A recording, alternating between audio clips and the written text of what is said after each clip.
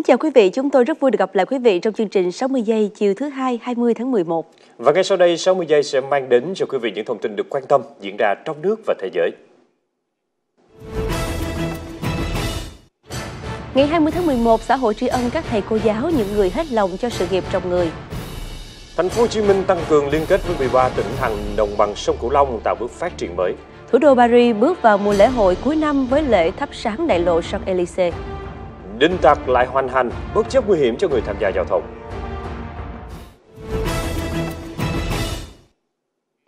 Thưa quý vị, hôm nay là Ngày Nhà giáo Việt Nam 20 tháng 11, ngày mà cả xã hội bày tỏ lòng tri ân với các thầy cô giáo, những người đã dành hết tâm huyết cho sự nghiệp giáo dục, dù vẫn còn đó nhiều khó khăn.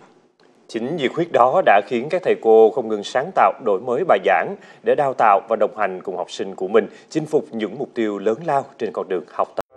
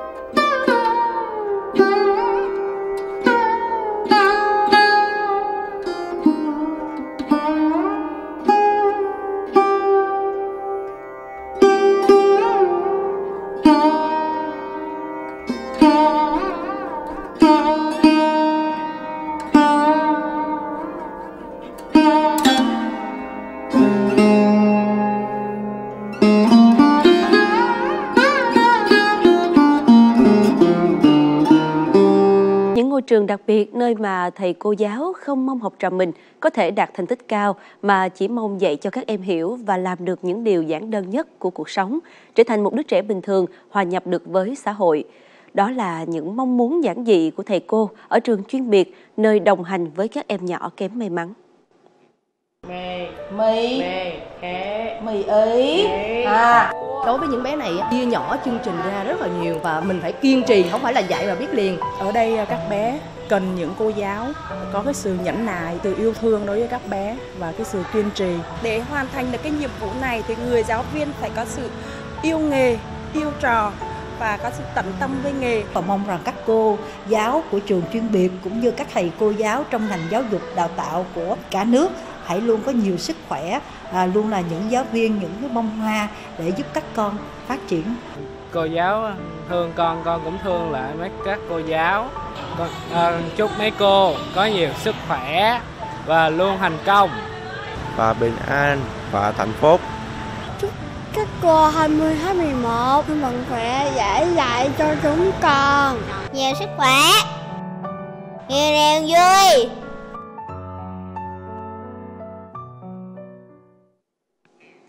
Từ năm 2015, thành phố Hồ Chí Minh đã ký kết liên kết với 13 tỉnh thành đồng bằng sông Cửu Long 6 lĩnh vực. Tuy nhiên, hiệu quả của liên kết vùng này thời gian qua chưa được như kỳ vọng. Các chuyên gia cho rằng Quốc hội ban hành cơ chế đặc thù cho thành phố Hồ Chí Minh sẽ tạo ra đòn bẩy làm tăng liên kết vùng giữa thành phố và đồng bằng sông Cửu Long. Đồng bằng sông Cửu Long là vùng nguyên liệu chính cho rất nhiều doanh nghiệp của thành phố Hồ Chí Minh. Dù các chuỗi liên kết đã được hình thành, nhưng hiện tỷ trọng vẫn còn ít và thiếu bền vững. Hầu như là một năm ở đồng bằng sông Cửu Long của chúng ta trồng lúa khoảng sấp xỉ khoảng 4 triệu hecta. Thế nhưng mà cái liên kết là hiện nay chưa được 5%. Người sản xuất thì vẫn mạnh ai người đấy làm. Trồng được cái gì thì người kinh doanh lại thu mua cái đó để chế biến xuất khẩu. Thì rõ ràng nó không gắn kết với nhau. Tri thức của thành phố Hồ Chí Minh sẽ đóng góp rất nhiều vào công cuộc chuyển đổi từ nông nghiệp truyền thống sang nông nghiệp giảm phát thải và nó sẽ tạo ra rất là nhiều cái sản phẩm mới, nhiều giá trị mới cao hơn. Nhiều doanh nghiệp thành phố Hồ Chí Minh cho biết, để phù hợp với xu hướng của thế giới, yêu cầu đặt ra là dùng nguyên liệu phải đạt các tiêu chí phát triển xanh, an toàn. Chúng tôi sẽ kiểm soát chất lượng nhằm đạt tiêu chí chất lượng về an toàn vệ sinh thực phẩm, về các chỉ tiêu thuốc bảo vệ thực vật, vi sinh. Đó là những cái chỉ tiêu mà chúng tôi rất là xem trọng khi mà đưa vào kiểm soát cũng như yêu cầu đối với cái nhà cung cấp. Sắp tới, thành phố Hồ Chí Minh sẽ phối hợp với miền Tây để phát triển bốn hành lang kinh tế, từ đó mở ra nhiều không gian đổi mới sáng tạo và hiệu quả. Tiếp theo là những thông tin đáng chú ý khác. Bộ Y tế vừa ban hành thông tư quy định giá dịch vụ khám chữa bệnh bảo hiểm y tế giữa các bệnh viện cùng hạng trong toàn quốc, hướng dẫn áp dụng thanh toán chi phí khám chữa bệnh bảo hiểm y tế trong một số trường hợp. Theo đó, kể từ ngày 17 tháng 11, giá dịch vụ khám bệnh bảo hiểm y tế bệnh viện hạng đặc biệt hạng 1 là 42.100 đồng, bệnh viện hạng 2 là 37.500 đồng, bệnh viện hạng 3 là 33.200 đồng, bệnh viện hạng tư và trạm y tế xã là 30.100 đồng. So với mức cũ, giá khám bệnh mới cao hơn khoảng 10%. Theo các bệnh viện, như vậy sẽ tăng thêm nguồn thu từ bảo hiểm y tế để nâng chất lượng dịch vụ. Cục Hàng không Việt Nam thống kê trong 10 tháng, tỷ lệ chuyến bay chậm giờ tăng cao. Hiện chỉ có hai hãng bay duy trì được chỉ số bay đúng giờ đạt trên 90% là Bamboo Airways và Vasco. Ngành hàng không đang tập trung nguồn lực lên kế hoạch để phục vụ hành khách trong giai đoạn cao điểm cuối năm và Tết Nguyên đán 2024. Hiện một số hãng giảm chuyến, cắt giảm tàu bay nên giá vé máy bay nội địa có xu hướng tăng cao, khiến nhiều người e ngại đi lại bằng đường hàng không. Bộ Giáo dục và Đào tạo cho biết dự kiến đến năm 2030, cả nước có khoảng 250 cơ sở giáo dục đại học và 50 phân hiệu. Trong đó, ngoài Đại học Quốc gia Hà Nội và Đại học Quốc gia Thành phố Hồ Chí Minh hiện nay sẽ phát triển thêm 3 đại học quốc gia nữa trên cơ sở Đại học Huế, Đại học Đà Nẵng và Đại học Bách khoa Hà Nội. Thời gian tới sẽ không thành lập thêm trường đại học công lập mới, ngoại trừ ở các vùng có mức độ tiếp cận đại học thấp như vùng Tây Bắc Bộ, Đông Bắc Bộ, Tây Nguyên, Đồng bằng sông Cửu Long. Trưa nay, lãnh đạo Ủy ban Nhân dân thị xã Hoài Nhơn, tỉnh Bình Định cho biết một tàu hàng quốc tịch Đức đã cứu được 14 ngư dân bị nạn trên vùng biển Bình Thuận. Khoảng 2 giờ sáng ngày 20 tháng 11, tàu cá này đang đánh bắt trên biển thì bị phá nước làm chìm tàu trên vùng biển cách đảo Phú Quý 92 hải lý. Trên tàu lúc này có 14 lao động, chủ tàu đã gọi điện nhờ ứng cứu. Chính quyền tỉnh Bình Thuận phối hợp cảnh sát biển vùng 3 và quân chủng Hải quân Việt Nam đã bố trí phương tiện, nhân lực hỗ trợ cứu nạn khẩn cấp. Đến 12 giờ 20 phút cùng ngày, tàu Bazan đang trong hành trình từ Trung Quốc đi Singapore đã vớt được 14 ngư dân và bàn giao cho phía Việt Nam. Hiện tàu cảnh sát biển 6007 đã được điều động ra để tiếp nhận 14 ngư dân. Thủ đô Paris đã bước vào mùa lễ hội cuối năm với lễ thắp sáng đại lộ Champs-Élysées. Sự kiện quan trọng này mang nhiều ý nghĩa vì năm sau Paris sẽ đăng cai Thế vận hội mùa hè 2024. Sau màn đếm ngược cùng tất cả mọi người tại đây, thị trưởng Paris Annie Dango và ông Marc-Antoine Jamet, chủ tịch ủy ban Champs-Élysées, đã cùng nhau nhấn nút thắp sáng dàn đèn trên đại lộ Champs-Élysées. Nhân đạo và đoàn kết là thông điệp của sự kiện thắp sáng đèn Giáng sinh năm nay. Thắp đèn trang trí là đặc trưng cho mùa Giáng sinh, nó còn là khoảnh khắc của niềm vui, của sự đoàn viên. Tất cả mọi người đến đây để cùng ăn mừng Giáng sinh trong hòa bình và niềm vui. Đại lộ Champs-Élysées thắp sáng đèn Giáng sinh báo hiệu mùa lễ hội cuối năm đã cận kề, chào đón người dân và du khách khắp nơi đến chiêm ngưỡng và chụp ảnh. Tinh thần Giáng sinh cũng được thể hiện trên đường phố Tokyo, Nhật Bản. Cuối tuần qua khi hàng trăm người khoác lên mình bộ trang phục đỏ trắng hòa vào cuộc chạy đua ông già Noel Tokyo 2023. Hoạt động có mục đích từ thiện và số tiền quyên góp sẽ hỗ trợ cho những người tàn tật có hoàn cảnh khó khăn và trẻ em mắc bệnh hiểm nghèo. Sự kiện Santa Runs năm nay càng trở nên đặc biệt khi được biến thành một cuộc diễu hành sôi động dọc theo tuyến đường dài 2,5 km. Đây cũng là lần đầu tiên sự kiện này được tổ chức tại Tokyo kể từ khi bắt đầu vào năm 2018. Chúng tôi biết rằng hiện tại có rất nhiều rắc rối đang diễn ra khắp nơi trên thế giới, nhưng trái tim của chúng tôi luôn hướng về mọi người. Chúng tôi chúc mọi người một Giáng sinh vui vẻ từ Tokyo Santa Run. Sự kiện năm nay không chỉ giúp lan tỏa niềm vui Giáng sinh mà còn thể hiện sự cam kết của Tokyo trong việc phục vụ cộng đồng khi kết hợp với hoạt động thiện nguyện đầy ý nghĩa. Tại nhiều vùng ven biển Nam Phi, bào ngư được ví như nguồn vàng trắng mang lại nguồn thu lớn. Nhưng cũng từ đây mà nạn săn bắt trộm nở rộ. Hoạt động đánh bắt đã khiến bào ngư Nam Phi giảm mạnh chưa từng thấy và đứng trước nguy cơ tuyệt chủng. Giống như mọi người ở làng chài Houston, ông Raphael Fisher lớn lên với nghề lặn tìm bào ngư Nam Phi và đây là nguồn thu nhập chính của gia đình. Một ký bào ngư có thể bán được 50 đô la Mỹ. Nhưng do hạn mức khai thác của chính phủ, mỗi ngư dân chỉ được bắt 120 kg một năm. Phần lớn bào ngư hiện nay là từ đánh bắt trộm. Điều này khiến nhiều trang trại nuôi bào ngư dè dặt khi thả bào ngư giống xuống biển. Nếu chính phủ đưa ra một kế hoạch để chúng tôi có thể bảo vệ những gì chúng tôi đầu tư, chúng tôi sẽ tham gia. Chúng tôi sẽ cung cấp bào ngư miễn phí. Tổ chức giám sát buôn bán động thực vật hoang dã Traffic cho biết, mỗi năm, cảnh sát Nam Phi phát hiện 350 đến 500 vụ săn bắt bào ngư bất hợp pháp. Nếu không có các biện pháp hỗ trợ ngư dân, thì rất nhiều bào ngư xuất khẩu của Nam Phi đều từ nguồn săn trộm mà ra. Khu tự trị Nội Mông ở miền Bắc Trung Quốc được biết đến như là khu vực chăn nuôi chủ chốt của loài ngựa Mông Cổ nổi tiếng. Mới đây một giải đua ngựa đã được tổ chức để đánh dấu sự mở đầu cho mùa đông xuân, đồng thời thúc đẩy du lịch trong khu vực. Hai cuộc đua đầu tiên gồm một cuộc đua đường dài 15 km và cuộc đua tiếp sức 6.000 m diễn ra tại tay Ushimkin Banner của Silingon với hơn 200 vận động viên cưỡi ngựa tranh tài. Ngày khai mạc giải đấu cũng đánh dấu sự bắt đầu của 11 hoạt động du lịch địa phương được thiết kế để du khách trải nghiệm văn hóa Mông Cổ và phong cảnh tuyệt vời tại Silingon. Các chính quyền địa phương đã giới thiệu năm tuyến du lịch cao cấp tại Silingon, nơi du khách có thể chơi với tuyết trên thảo nguyên rộng lớn và thưởng thức các món ăn địa phương. Tiếp theo trong mảng an ninh trật tự, cháy trang trại nấm rộng 3 hecta ở Lạc Dương, Lâm Đồng.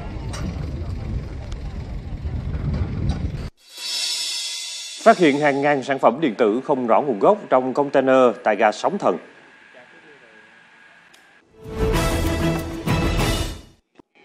Chiều 19 tháng 11, một vụ hỏa hoạn đã xảy ra tại trang trại nấm của công ty cổ phần nấm Nguyên Long, xã Đa Nhiêm, huyện Lạc Dương, Lâm Đồng.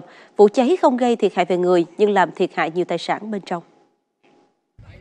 Khoảng 15 giờ 45 phút, lửa bùng lên tại khu vực tạo phôi nấm thuộc khuôn viên trang trại.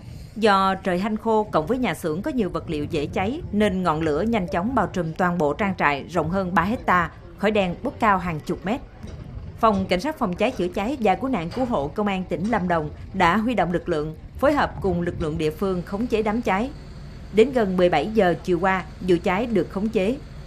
Mai là vụ cháy xảy ra vào chủ nhật không có công nhân làm việc nên không ai bị thương, nhưng lửa đã thiêu rụi và làm hư hỏng nhiều máy móc trang thiết bị lực lượng chức năng đang thống kê thiệt hại về tài sản và làm rõ nguyên nhân vụ hỏa hoạn. Sáng nay trên quốc lộ 1 đoạn qua cầu vượt Linh Xuân thành phố Thủ Đức thành phố Hồ Chí Minh lại xuất hiện tình trạng rải đinh, vấn nạn gây nguy hiểm cho người tham gia giao thông. Nhiều người dù đang trên đường đi làm đã dừng xe cùng nhau dọn đinh ngay khung giờ cao điểm sáng. Trên đoạn đường chỉ dài chục mét, trong khoảng một giờ đồng hồ, người dân đã nhặt đến 2 kg đinh các mảnh đinh có hình thoi, nhọn hai đầu. Loại đinh này khi cán trúng sẽ bị bánh xe và không thể giá, mà phải thay ca ruột lẫn vỏ. Đây là khu vực nhức nhối về nạn đinh tặc và đã diễn ra nhiều năm nay. Theo lãnh đạo phường Đinh Xuân thành phố Thủ Đức, chính quyền địa phương thường xuyên đi kiểm tra khắc phục, tuy nhiên đinh tặc vẫn lộng hành. Phường Linh Xuân cũng nhiều lần cùng với phường An Bình thành phố Di An tỉnh Bình Dương là khu vực giáp ranh phối hợp để có sự kiểm soát chặt chẽ và hiệu quả hơn. Thuê tài xế xe ôm giả làm người thân, lừa đảo rồi chiếm đoạt một chiếc xe máy đem đi cầm lấy tiền tiêu xài. Sáng nay, Công an thành phố Châu Đốc An Giang cho biết đang tạm giam Võ Thành Đô, 24 tuổi về hành vi lừa đảo chiếm đoạt tài sản. Theo điều tra, Đô gặp ông Nguyễn Văn Nhân làm nghề chạy xe ôm, nói dối cần mua xe máy đã qua sử dụng và nhờ ông giả làm cha của mình để được giảm giá. Tin lời Đô, ông Nhân chở Đô đi chọn mua xe cũ. Khi thấy nhà của ông Nguyễn Văn Hiển có trưng bán hai chiếc xe máy, cả hai ghé vào xem, Đô đã giới thiệu ông Nhân là cha ruột của mình và hỏi giá chiếc xe. Sau khi thỏa thuận giá xong, Đô yêu cầu cho chạy thử xe. Vì nghĩ cha ruột của Đô còn ở đây nên ông Hiển đã tin tưởng giao xe cho Đô. Đô chạy xe đi và mang đến cửa hàng cầm đồ, cầm lấy 10 triệu đồng. Sau khi mua ma túy và tiêu xài hết số tiền trên, ngày 4 tháng 11, Đô quay lại tiệm cầm đồ, định bán luôn chiếc xe của ông Hiển thì bị công an bắt giữ.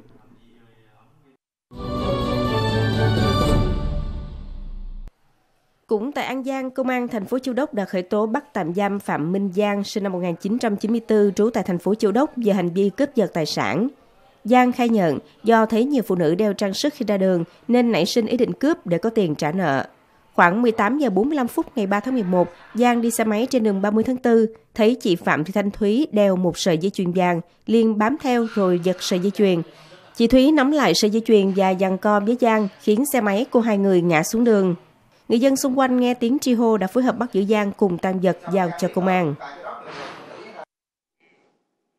Ngày 20 tháng 11, Công an tỉnh Bình Dương phối hợp Cục Quản lý Thị trường tỉnh vừa kiểm tra phát hiện hàng ngàn sản phẩm điện tử không rõ nguồn gốc xuất xứ được vận chuyển trong container tại ga Sóng Thần, thành phố Dĩ An. Qua kiểm tra, kiểm tra liên ngành phát hiện số lượng lớn hàng hóa là đồ điện tử đã qua sử dụng và chưa qua sử dụng có xuất xứ nước ngoài, gồm cục nóng lạnh, máy điều hòa các loại, máy giặt, tủ lạnh, quạt máy sử dụng điện, máy lọc không khí các loại và bom mạch chủ dùng cho máy vi tính để bàn. Tổng trị giá số hàng hóa trên ước tính khoảng 7,5 tỷ đồng. Đoàn kiểm tra liên ngành đã lập biên bản tạm giữ toàn bộ tăng vật để tiếp tục xác minh và xử lý theo quy định. Liên quan đến vụ việc nhóm thanh thiếu niên mang hung khí lao xe vào lực lượng cảnh sát giao thông đang làm nhiệm vụ, sáng nay 20 tháng 11, Công an huyện Hòa Vang, thành phố Đà Nẵng đã điều tra, truy xét một số đối tượng có liên quan.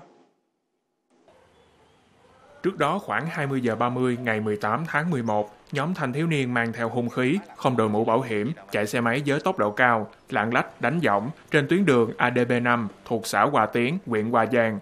Đội cảnh sát giao thông trật tự, công an huyện Hòa Giang ra hiệu lệnh dừng xe, nhưng nhóm này đã rồ ga bỏ chạy, trong đó có Lê Văn Diện đã cố tình lao xe máy vào các cảnh sát giao thông đang làm nhiệm vụ.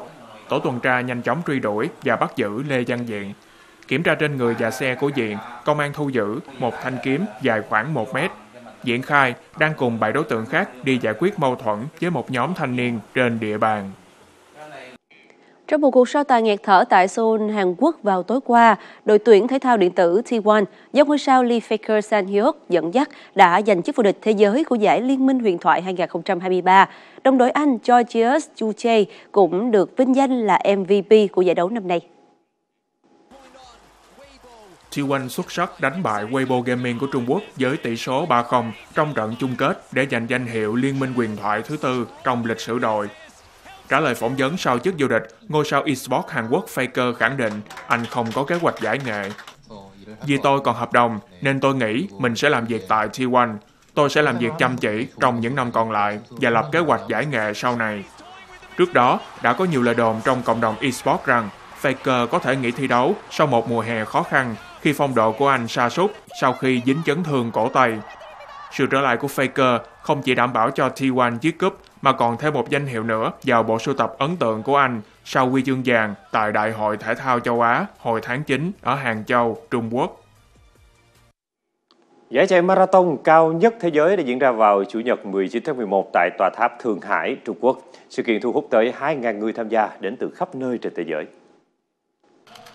Giải chạy marathon thẳng đứng tại Tháp Thượng Hải 2023 được công nhận là cuộc thi chạy cao nhất thế giới với 3.398 bậc thang và độ cao đáng kinh ngạc 552 mét. Khi mặt trời lặn, mỗi bước đi của vận động viên tham gia không chỉ tượng trưng cho một chiến thắng cá nhân, mà còn là một cuộc ăn mừng tập thể về ý chí của con người. Tôi nghĩ marathon thẳng đứng là môn thể thao thử thách bản thân. Bạn phải học cách kiểm soát tốc độ của mình trong suốt cuộc đua, không quá nhanh và quá chậm. Tôi đã học được cách kiên nhẫn kiểm soát tốc độ của mình qua bộ môn này. Tháp Thượng Hải với chiều cao 632 m không chỉ là một kiệt tác kiến trúc mà còn là tòa nhà cao nhất tại Trung Quốc. Tin mới nhận, đầu giờ chiều nay một vụ tai nạn giao thông xảy ra trên cầu Mỹ Thuận, tỉnh Vĩnh Long, khiến một phụ nữ tử vong tại chỗ. Khoảng 13 giờ 50 phút ngày 20 tháng 11, ông Lê Văn Dầu sinh năm 1975 điều khiển xe máy chở vợ là bà Nguyễn Thị Phương sinh năm 1975 lưu thông hướng từ Vĩnh Long đi Tiền Giang. Khi dốc lên cầu Mỹ Thuận phía bờ Vĩnh Long, xe ông Dầu va chạm với một xe ô tô khác đi cùng chiều. Tai nạn khiến bà Phương tử vong tại chỗ, ông Dầu bị thương nhẹ. Lực lượng cảnh sát giao thông đã khám nghiệm hiện trường, khám nghiệm tử thi, điều tra làm rõ nguyên nhân dẫn đến vụ tai nạn. Hiện trường vừa được giải quyết xong thì lại một xe ô tô khác bị hỏng máy ngay giữa cầu Mỹ Thuận, khiến giao thông bị ủng tắc cục bộ kéo dài.